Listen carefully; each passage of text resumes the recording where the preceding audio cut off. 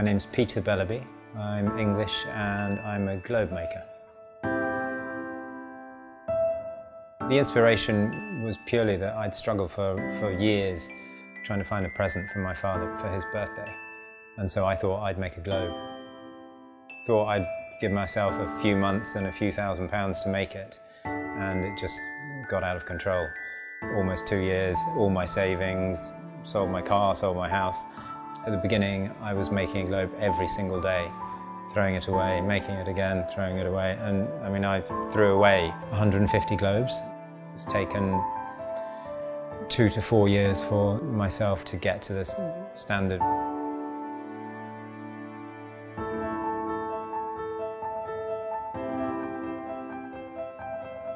We use traditional materials, wood um, and brass, but we're now using much more contemporary materials, just because the longevity will be there. Everything we do is handmade. It's done to order for each customer. Fundamentally, the, the difficult tasks are making a sphere. We form the sphere to begin with. We then go on to um, the stage of applying the paper.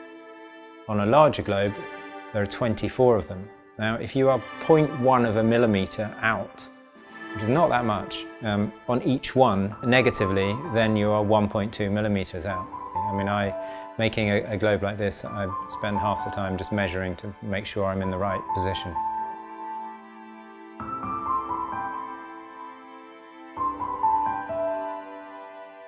What we're creating, each one is unique and the way we paint it, we can never replicate it from one globe to another.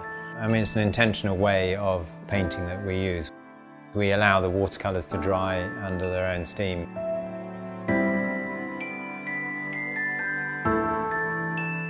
The last thing we want from this is to have a homogenous um, looking colour scheme. The charm of it is the fact that it's hand painted and there will be character in that. We have different names for globes which are dependent both on the size of the globe but also on the base.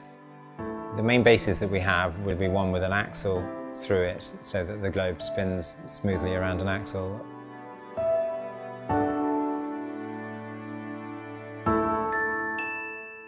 Designing bases um, for globes is incredibly difficult. I've turned down hundreds of designs.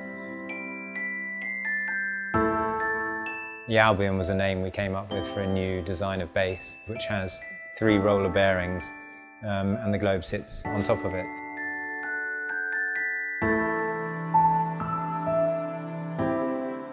We're developing one at the moment. It's called the Gagarin. It's an image of the Earth as you'd get from the space station. It's still hand painted. It looks absolutely stunning. For the Celestial, we, we kind of did some research. The way that many of the bodies have, have been depicted amongst the stars is, is not actually factually correct. It, it, doesn't have the right dimensions, but you have to do that in order to, to match where the stars are. And then we realised that we would have to um, create the designs in a very much medieval way. A celestial globe wouldn't look right if we had Hercules wearing jeans and a t-shirt.